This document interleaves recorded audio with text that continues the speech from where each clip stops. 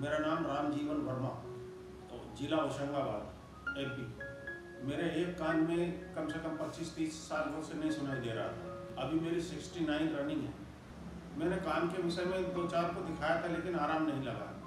ये टीवी पे या अपने मोबाइल में देख के यूट्यूब वगैरह पे देख के और फिर मैंने यहाँ पे संपर्क किया। बराबर। तो उस हिसाब से फिर मैं आज पहली बार आया मुझे तो 80 परसेंट आराम लग गया है।